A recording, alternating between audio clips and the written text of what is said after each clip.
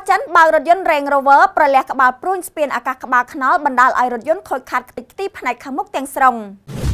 បរិជនជាតិចិនម្នាក់បានបើករថយន្តស៊េរីទំនើប Range Rover មួយគ្រឿងក្នុងល្បឿនលឿនក៏ជ្រុលចង្កូតទៅបុកក្បាលព្រួញគល់ស្ពានអាកាសក្បាលខ្នល់បណ្ដាលឲ្យរថយន្តខ្ទេចផ្នែកខាងមុខអស់ទាំងស្រុងខណៈតៃកុងមិនមានរងរបួសឡើយហេតុការណ៍គ្រោះថ្នាក់ចរាចរណ៍នេះបានកើតឡើងនៅវេលាម៉ោង5ព្រឹកថ្ងៃទី24ខែសីហាឆ្នាំ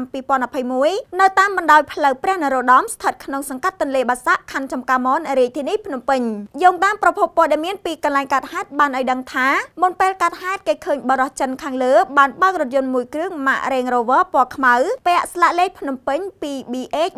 1117ធ្វើដំណើរទិសដៅពីជើងទៅត្បូងក្នុងល្បឿនយ៉ាងលឿនពេលបើកមកដល់ចំណុចគល់ស្ពានអាកាសក្បាលខ្នល់ខាងជើងស្រាប់តែរេចង្កូតជ្រុលទៅបុកក្បាលព្រួញគល់ស្ពានតែម្ដងបណ្ដាលឲ្យរថយន្តរងការខូចខាតខ្ទេចខ្ទីផ្នែកខាងមុខអស់ទាំងស្រុងខណៈអ្នកបើកបរមិនមានរងរបួសឡើយដោយសារបានពងសុវត្ថិភាពការពារទោះយ៉ាងណាករណីនេះមិនបណ្ដាលឲ្យអ្នកដំណើរដទៃទៀតរងគ្រោះថ្នាក់នោះឡើយក្រោយពីកាត់ហេតុសមត្ថកិច្ចមូលដ្ឋានបានចុះទៅដល់ទីតាំងភ្លាមភ្លាមនិងបានទំនាក់ទំនងទៅសមត្ថកិច្ចជំនាញចុះមកវាស់វែងយករថយន្តទៅរក្សាទុកបណ្ដោះអាសន្នរងចាំដោះស្រាយពេលក្រោយតាមនីតិវិធីព្រោះធ្វើឲ្យខូចខាតទ្រព្យសម្បត្តិសាធារណៈពីនេះខ្ញុំសាមសវណ្ណ The Time News